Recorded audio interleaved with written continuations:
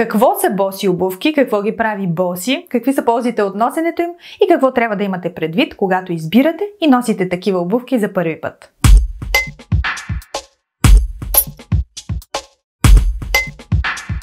Здравейте, аз съм Зорница, а това е Аглю канал за всичко, полезно, практично и изпробвано.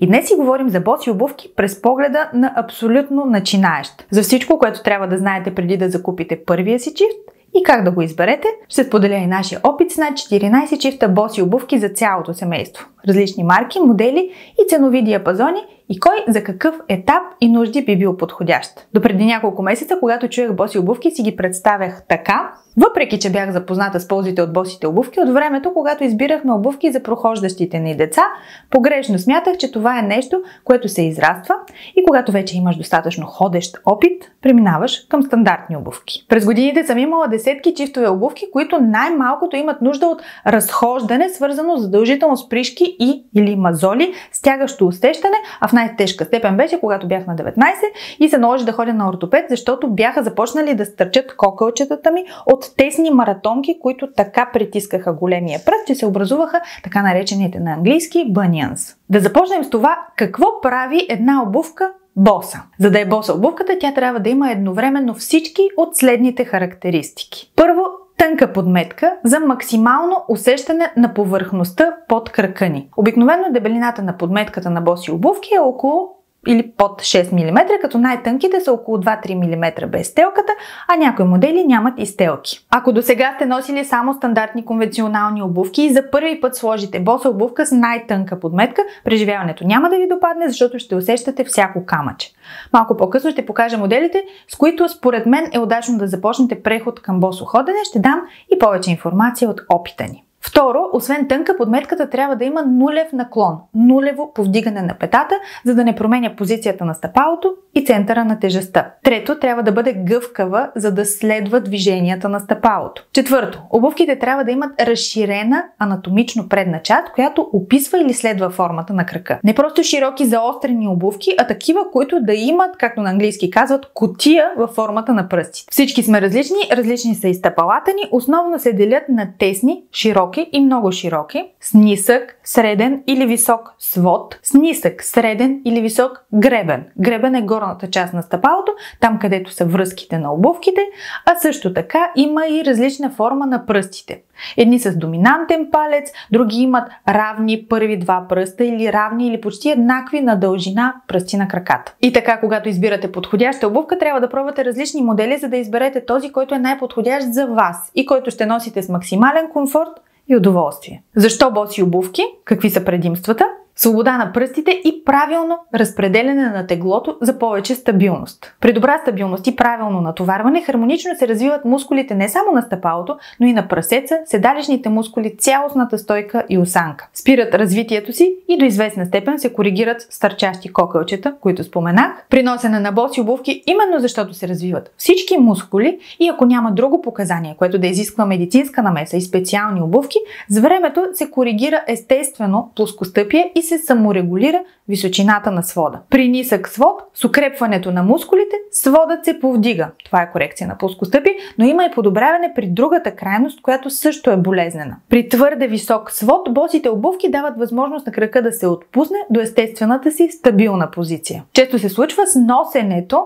да се промени размерът на обувките, които носите. Не само първоначалната разлика между стандартния номер обувки и боси обувки, защото има такава, след малко ще разкажем за нея, но и самите боси обувки започват да ви отесняват и да се скъсяват и за някои хора е необходим половин или дори цял размер и повече по-голяма обувка с течение на времето. Както при всяко нещо, освен предимства, има и недостатъци. Преходът към боси обувки трябва да е плавен в зависимост от това колко дълго време сте носили конвенционални обувки и какъв тип, дали равни, анатомични, на висок ток, какви дейности сте изпълнявали. Повтаряме, босите обувки не са подходящи за всички хора и всички типове стъпала, тъй като някои имат нужда от сериозна корекция и опора. Недостатъци са още по-високата цена на босите обувки, ограничените модели, това, че не може да ги намерите навсякъде и трябва да поръчвате онлайн, не само в България, но и в чужбина. Какво не са боси обувки. Босите обувки не са широки обувки. Между анатомична предна част, която следва профила на пръстите и широка, но заострена обувка, има голяма разлика. Босите обувки не могат да са с дебели подметки. Босите обувки задължително имат гъвкава подметка, която следва естествените движения на стъпалото.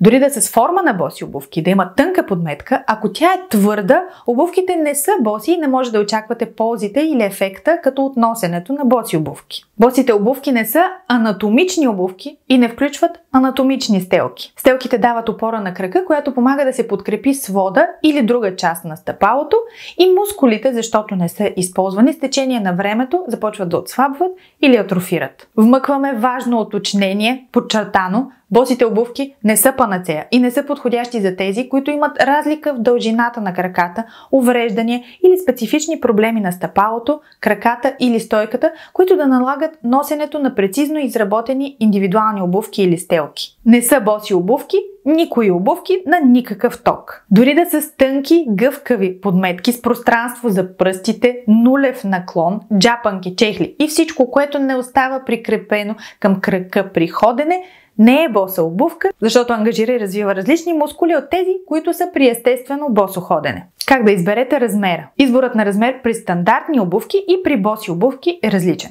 При мен стандартен номер е 37, но при босите обувки съм 38. За да разберете към какъв номер да се насочите, трябва да вземете лист хартия, върху който да стъпите с бос крак, подпрян на стената, да отпуснете стъпало и пръсти и да ги очертаете след което измервате очертанията по диагонал, като към получените стоености добавяте между 9 и 15 мм.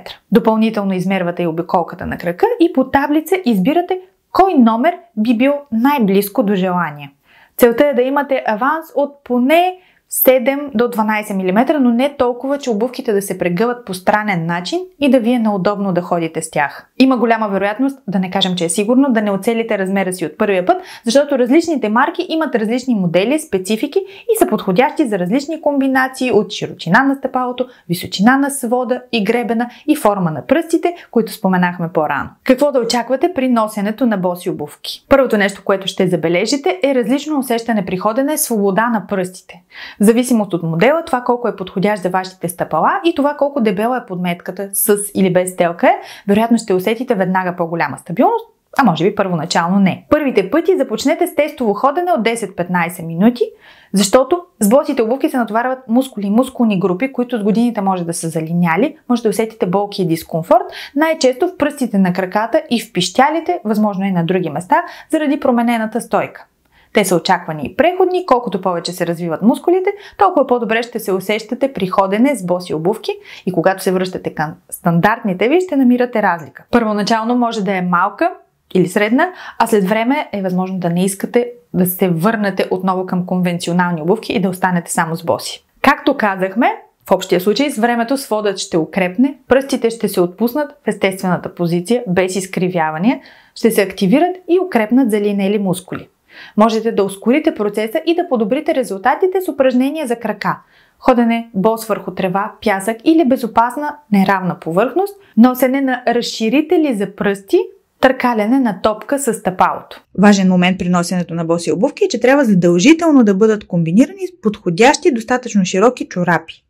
Ако чорапите са твърде тесни, самите те ограничават движението на пръстите и стъпалото и частично или изцяло обесмислят носенето на боси обувки. Нашият опит с боси обувки в последните 6 месеца в социалните мрежи редовно ми излизаха видеа за ползите от носенето на боси обувки, но не ги бях срещала в България, сигурно защото и не ги бях търсила и отлагах пробването за някой ден. Докато не се заговорих с една жена, която силно ги препоръча и е започнала да ги носи заради болки в коляното. И аз имам болка в лявото коляно, която се появява на произволен принцип, преди 12-13 години бях тичала на пясъка, стъпих на криво, заболя ме глезен и коляно и от тогава понякога при преумора, друг път при смяна на времето, трети път и аз не знам защо, болката се връща. Реших да пробвам дали ще се промени, ако нося боси обувки. В самото начало, първото нещо, което не ми хареса, бяха цените им. Тези, които намирах симпатични, бяха над 200 лева и нямаше как да дам 200 лева за нещо, което не знам дали ще ми стане, дали ще ми е комфортно, дали ще ми помогне и ще искам да нося. След няколко дни на разглеждане на сайтове реших да пробвам с анатомик. Бюджетен клас боси обувки, произведени в Чехия. Тези бежови симпатяги дойдоха на следващия ден и ме очароваха. За 65 лева усещах свободата на пръстите си и лекота при ходене. Споделих ви в Инстаграм и някои от вас ми писаха, че анатомик дори не са най-удобните боси обувки и щом толкова ми допадат, си представяте колко ще ми харесат по-висок клас боси обувки. Много държах и Гена да усети това удоволствие от ходенето и му поръчах също анатомик. Първия път не оцелих размера, но връщането е лесно и бързо и след няколко дни и той влезе в отбора. Сега в малко повече детайли. Бежовите анатомик са от текстил, лесно се цапат и пропускат вода. Използвах импрегниращ спрей, за да забавя поне частично зацапването и захабяването.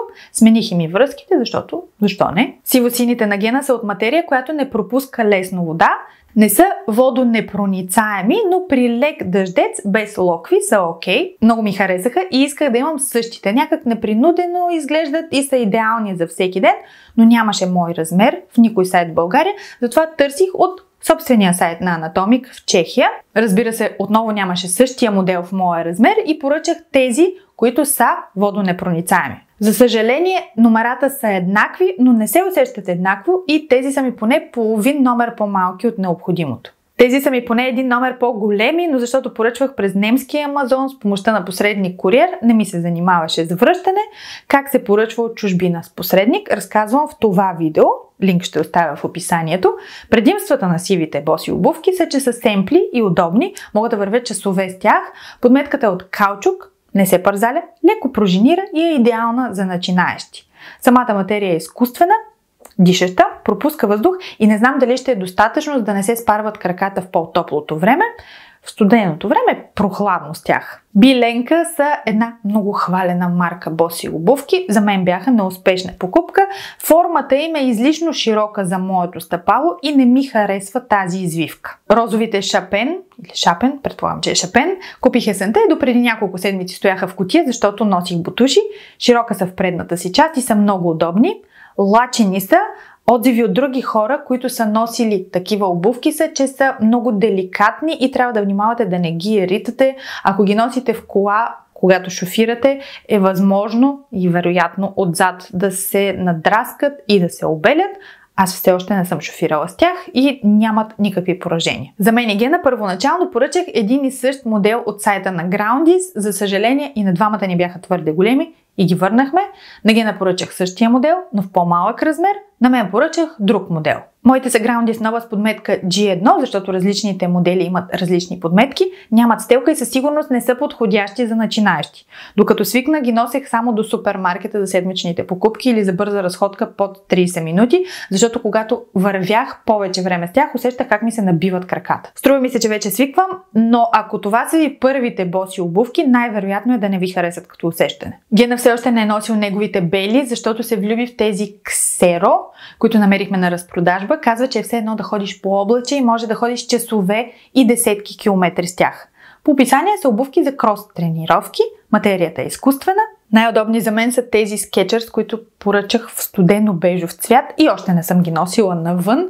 Естествена кожа, отвън и отвътре. А тези Англес Линос чаках да изпратят повече от месец, изчистен, семпъл модел, който подхожда с всичко, бяла естествена кожа, удобни, подходящи дори за начинаещи, но доста тесни за боси обувки, подходящи са само за тесен крак и в края на деня, отстоене с часове на стола в офиса, когато краката ми започнат да отичат, чувствам, че започвам да ги усещам тесни. Червените ми бутуши Коел голяма радост ми бяха тази зима, а и Гена всеки път ми прави комплименти, колко са симпатични. Първите два дни имах занимавка да коригирам връзките, така че да стягат на правилните места, но да оставят пространство за движение, без да стискат и подпират.